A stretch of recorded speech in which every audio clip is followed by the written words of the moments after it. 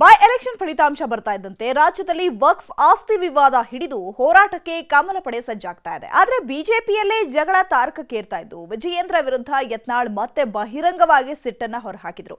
ಇನ್ನೊಂದು ಕಡೆ ವಕ್ಫ್ ವಿವಾದಕ್ಕೆಲ್ಲ ಮೂಲ ಕಾರಣ ಬಿಜೆಪಿಯೇ ಅಂತ ಡಿಕೆಶಿ ಆರೋಪಿಸಿದ್ದಾರೆ.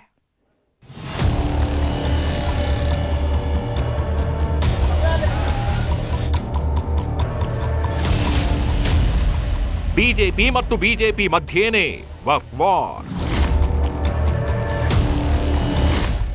ವಫ್ ಸಂಕಷ್ಟ ದಿನೇ ದಿನೇ ಹೆಚ್ಚಾಗ್ತಿದೆ ಅಂತ ಬಿಜೆಪಿ ಹೋರಾಟಕ್ಕೆ ರೆಡಿ ಆಗ್ತಿದೆ. ಆದ್ರೆ ಹೋರಾಟಕ್ಕಿಳಿದ ಬಿಜೆಪಿಯೇ ಎರಡು ಭಾಗ ಆಗಿದೆ. ಒಂದು ಕಡೆ ಯತ್ನಾಳ್ ಟೀಮ್, ಇನ್ನೊಂದು ಕಡೆ ವಿಜಯೇಂದ್ರ ರಚಿಸಿರುವ ಮೂರು ತಂಡಗಳು ಪ್ರತ್ಯೇಕ ಹೋರಾಟಕ್ಕೆ ಸಜ್ಜಾಗಿವೆ.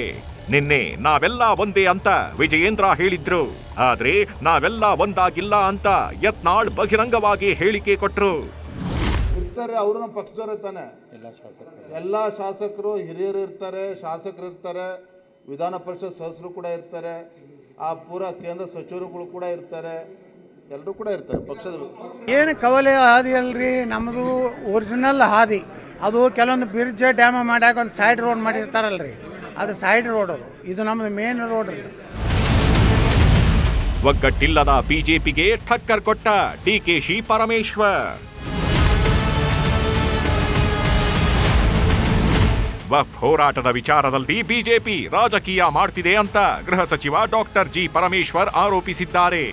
ಬಿಜೆಪಿಯವರೇ ವಕ್ ವಿಷಯದಲ್ಲಿ ರೈತರನ್ನು ಒಕ್ಕಲೆಬ್ಬಿಸಿದ್ದು. ನಾವಲ್ಲ. ಬಿಜೆಪಿಯವರ ಬಂಡವಾಳ ಎಕ್ಸ್ಪೋಸ್ ಮಾಡ್ತೀವಿ ಅಂದ್ರು DK Shivakumar. B J P ಮೂರ್ಖತನ. ಇದೇನು ಒಕ್ಕಿದೆಯಲ್ಲ ಇದು ಎಲ್ಲ ಬಿ ಜೆ ಪಿ ಕಾಲದಲ್ಲೇ ಈ ಪಾಣಿಗಳನ್ನೆಲ್ಲ ಬರಕ್ಕೆ ಶುರು ಮಾಡಿದ್ದು. ನಮ್ಮವರು ಲೇಟಾಗಿ ಅದನ್ನು ಗಮನಿಸಿದ್ರು ಅಷ್ಟೇ. ಅವ್ರನ್ನ ಎಕ್ಸ್ಪೋಸ್ ಮಾಡ್ತೀವಿ ನಾವು. ಅವರೇ ಮಾಡಿದ್ದು ಅವ್ರ ಕಾಲದಲ್ಲೇ ಆಗಿದ್ದು ಅನ್ನೋದು ನಮ್ಮ ಎಲ್ಲ ದಾಖಲೆಗಳಿದೆ. ನಾವು ಅವ್ರನ್ನೇ ಎಕ್ಸ್ಪೋಸ್ ಮಾಡ್ತೀವಿ. ಈ ಜನತಾ ಪಾರ್ಟಿಯವರು ಡಿವೈಡ್ ಅಂಡ್ ರೂಲ್ ಮಾಡೋದಕ್ಕೆ ಹೋದ್ರೆ ಅದು ಅಷ್ಟೊಂದು ಸಮಂಜಸವಾಗಿ ಕಾಣಿಸೋದಿಲ್ಲ ಅಂತ ನನಗೆ ಅನಿಸುತ್ತೆ. ಅವರು ಪ್ರತಿಭಟನೆಗಳು ಮಾಡಿದ್ರು. ವಫ್ ಆಸ್ತಿ ವಿವಾದ, ರಾಜಕೀಯ ವಿವಾದ ಆಗ್ತಿರೋದಂತೂ ಸತ್ಯ. ಆದ್ರೆ ಇದೇ ವಫ್ ಆಸ್ತಿ ವಿವಾದ ಇವತ್ತು ರಾಜ್ಯದ ಹಲವೆಡೆ ಗಲಾಟೆಗೂ ಕಾರಣವಾಯಿತು.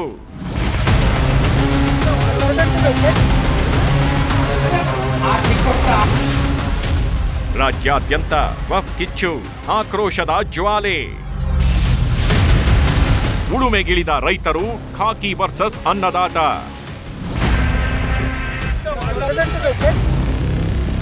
ಚಿಂತಾಮಣಿ ತಾಲೂಕಿನ ತಿಮ್ಮಸಂದ್ರ ಗ್ರಾಮದ ಸರ್ವೆ ನಂಬರ್ ಹದಿಮೂರು ಬಾರ್ ಒಂದು, ಹದಿಮೂರು ಬಾರ್ ಎರಡು ಹಾಗೂ ಸರ್ವೆ ನಂಬರ್ ಇಪ್ಪತ್ತರಲ್ಲಿ ಬಫ್ ಆಸ್ತಿ ಅಂತ ಮುದ್ರೆ ಬಿದ್ದಿದೆ. ಇದು ಹತ್ತಾರು ರೈತರ ನಿದ್ದೆಗೆಡಿಸಿದೆ ಇದೇ ಜಮೀನಿನಲ್ಲಿ ಅರವತ್ತೈದು ವರ್ಷಗಳಿಂದ ಉಳುಮೆ ಮಾಡ್ತಿದ್ದೇವೆ. ಆದ್ರೀಗ ಗಿದ್ದಕ್ಕಿದ್ದಂತೆ ವಫ್ ಆಸ್ತಿ ಅಂತ ಶೀಲ್ ಹೊಡೆದಿದ್ದಾರೆ.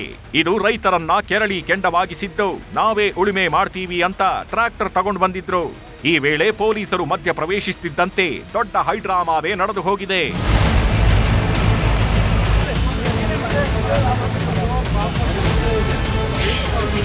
ಇನ್ನು ಧಾರವಾಡ ಜಿಲ್ಲೆಯ ಕಲಘಟಗಿ ಪಟ್ಟಣದಲ್ಲಿ ವಿವಿಧ ಸಂಘಟನೆಗಳು ಹಾಗೂ ರೈತರು ವಕ್ ವಿರುದ್ಧ ಪ್ರತಿಭಟನೆ ನಡೆಸಿದ್ರು. ಈ ವೇಳೆ ಎಂಟ್ರಿ ಕೊಟ್ಟ ವ್ಯಕ್ತಿಯೊಬ್ಬ ಉದ್ದಟತನ ತೋರಿಸಿದ್ದಾನೆ. ಮಾತಿಗೆ ಮಾತು ಬೆಳೆಯುತ್ತಿದ್ದಂತೆ ಕೈ ಕೈ ಮಿಲಾಯಿಸಿದ್ದಾರೆ. ಕೂಡಲೇ ಪೊಲೀಸರು ಎಂಟ್ರಿ ಕೊಟ್ಟಿದ್ದರಿಂದ ಪರಿಸ್ಥಿತಿ ತಿಳಿಯಾಯಿತು.